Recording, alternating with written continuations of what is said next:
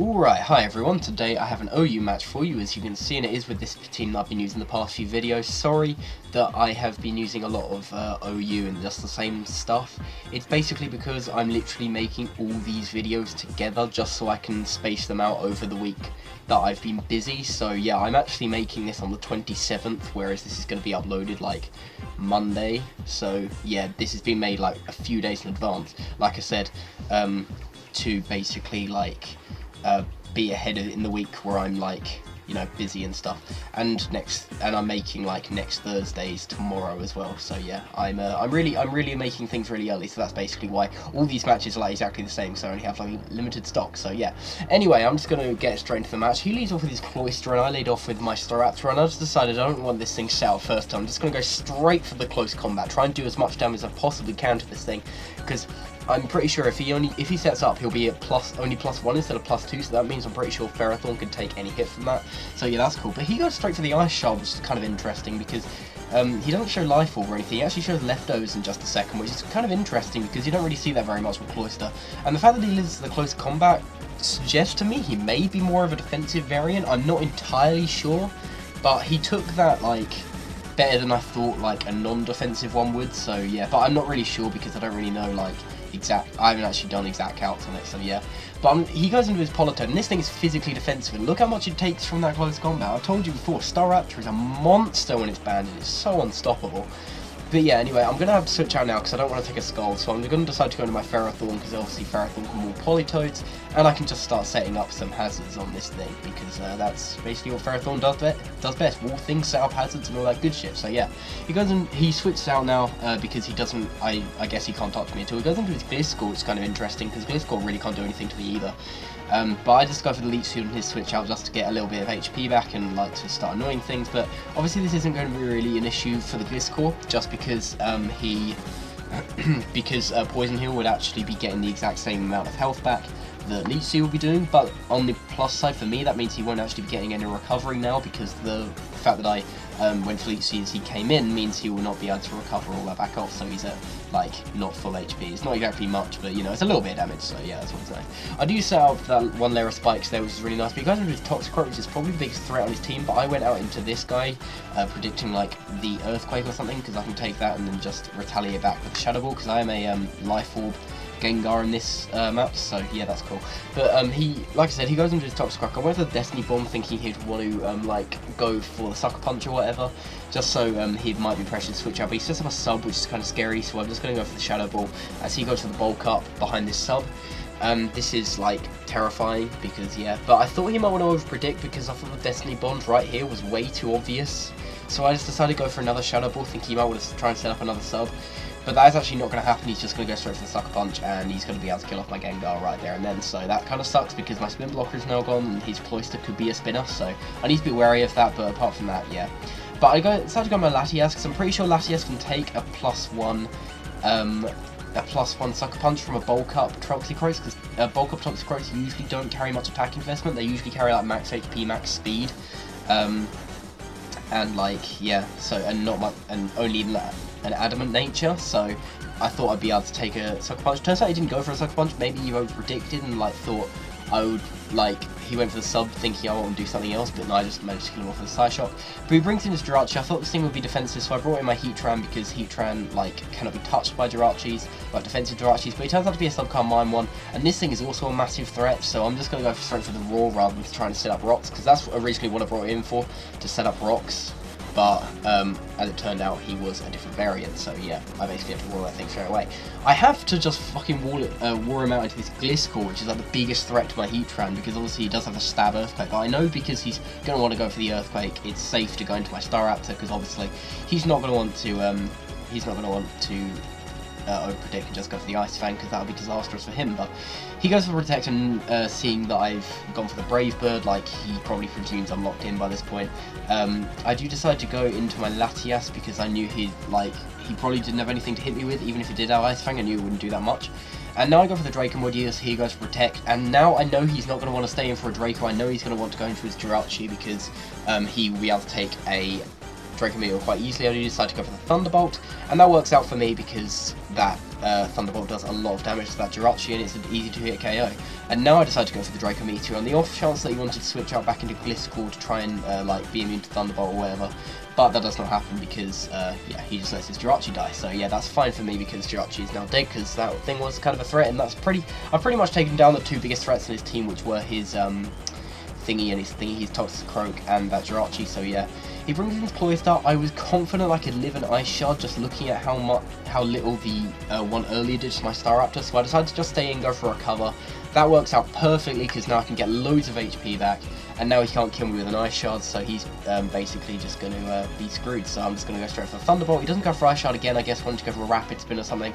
But that doesn't work out for him because I'm able to go for the Thunderbolt, easily kill that Cloyster because Cloyster doesn't have very high um, special defense at all. And even though I'm at minus 2, that is super effective in Life Orb. Um, and yeah, so yeah, that's the thing. But yeah, he brings in this uh, Blissey, which is kind of an annoying thing, and I knew he'd probably want to go for Thunder Wave just by the way he brought it in, so I decided to go into my Tentacruel because um, paralysis really doesn't hinder my Tentacruel that much. Well, I say that now, but you'll see later it does kind of screw me over, but I decide perfect opportunity to sell my Toxic Spikes because this thing can't do shit to me. So yeah, perfect opportunity to sell Toxic Spikes. I knew he'd want to switch here, I thought he might want to go into Gliscor, so I went for the Scald. Um, I don't know why I thought that would happen because that's kind of a stupid thing, but I just went for the Scald just to see how much it would do, and it doesn't do very much to that Politoed, and he gets that wish back, so that's kind of annoying. But I know this Politoed won't be able to touch me, so I believe I go for another layer of... No, I think I go... Yeah, I go into my Ferrothorn right here, so he goes for the Perish Song uh, because once again I can wall this Politoed and set up my remaining two layers of spikes because then um, nothing will enjoy switching in, especially that Blissey, because that Blissey is really being a problem just because it's going to be switching in and out, getting those wishes off, and if I can't let it switch in and out for free like this, so basically I'm just going to want to set up my layers of spikes, which is what I'm going to do here. He does switch out into his Gliscor to try and wall me, I suppose, but I don't really care because I am Songed. I knew, I know I don't have that much time left to stay on the field, so it's best to just go for spikes um, as he goes for the Ice, Ice Fang. Now, I do manage to get my uh, third layer of spikes up, so that's perfect, because now my Ferrothorn has got all its hazards up, it's done its job, but I do not want to lose it just yet, because I know this thing will be important in um, in pretty much just walling his Gliscor and his Politoed, so I don't want to let this thing die, so I decided to go to my Latias, because I knew uh, I could take an Ice Fang, because ice, uh, it didn't do that much earlier, but he's gonna freeze me, I mean, what the hell, seriously? Seriously? Seriously, this this thing was like the main thing I had for this, and he frees it. Oh my god! Seriously, that that just made the match yeah, much longer because now I have to go into my Tentacruel, who um, can set up and I believe goes to the Scald here actually. I can't remember. No, I well I, I don't remember because I get paralyzed. But now I decide to set up another uh, Toxic Spikes. So if this thing wants to come in and he wants to go Heal Bell or whatever, I can actually Toxic Stall it out because the um, Toxic will be doing more and more each turn, so that's cool. But I decided to go into my Staraptor as he goes to the Bell, which is perfect because obviously now he will um, be. It actually helps me more than it hurts him because. Yeah, because uh, if he brings in this Politoed, that will be uh, hurt by the Toxic, like, racking up more and more, just like Blissey will. Obviously, this uh, this Gliscor won't, but that's another story. So I go into Tentacruel, trying to go for the Scald once again, but that doesn't happen, and yeah, this thing is basically being piece of shit because my Latias died, and if my Latias hadn't died, that wouldn't have happened, but yeah. But I go into my Heatran now because I know Heatran, well, I know Blissey can't do shit to Heatran, so it's the best opportunity I have to go for my rocks, because then I'll have every entry hazard on the field, and now nothing will enjoy switching. In. Even the Gliscor will be taking a little bit of damage every now and then, and uh, yeah, everything will be taking a shitload of damage. And I knew I could roll and shuffle things around, but obviously he crits me with the Surf, so that just makes things a little bit harder for me. Um, so yeah, that's a thing. So I decided to go into my Staraptor now and just go straight for the Brave Bird because I'm done with fucking around. I'm just going to destroy this Politoed. And that is easily going to kill that thing, so yeah. But he goes into his uh, Gliscor now, and I didn't want to take a Ice, a Ice Fang to the face, so I decided to go into um, my Tentacruel, easily take that, like, does like 20 damage. So that's really cool, because now I can just try and Scald this thing, do as much damage as I possibly can, because it, um, a bit later we'll see it does do a lot of damage. Um, but I don't know, yeah, I, I knew we'd go for the Earthquake, and I don't know why I went Staraptor though, because Staraptor can't really do shit. I think I went to try and get the Intimidate just so I could, just so his Earthquakes would be doing less to my Tentacruel. Yeah, I think that was my method of behind my madness there, so yeah. Um, and I'm just trying to go for Scalds on this thing to just try and do as much damage as possible to it. But he's going to send this Blissey here, and it's going to take so much damage for all these entry hazards, it is actually going to die to a Scald right here, because it is rain boosted and such, so even a Blissey cannot live that. So that's really cool, because now he only has his Gliscor left, and I can just go for Scald. it. as we'll see in a second, this Scald does so much damage after this Earthquake, does so much damage. Look at look at this damage. Does like 90, 95%. So that's really cool because now he is uh, really threatened by that. So I decided to go for protect, get a little bit of HP back because um, I didn't want to die to another earthquake. Um, but he goes for the roost, it doesn't really matter because, um, well, I get paralyzed here, it doesn't matter because he went for the roost. If he'd gone for Earthquake, it would have mattered, but it didn't, so yeah. And now I go for another Scalds. Uh, well, I, I could go for another Scald, do a lot of damage, but he crits me. I mean, what the hell? This this game wanted to set me up for failing against this Gliscor. I didn't, I actually didn't understand like what was going on with this Gliscor. It was just screwing me over every single turn. So now my only hope is to go into Staraptor to intimidate it, go back into Ferrothorn to take an Ice Fang, go back into Staraptor to intimidate it again, basically get as many attack drops as I possibly could, set up a Leech Seed with Ferrothorn so um, my Staraptor would be getting health, more health back than the Ice Fang would do.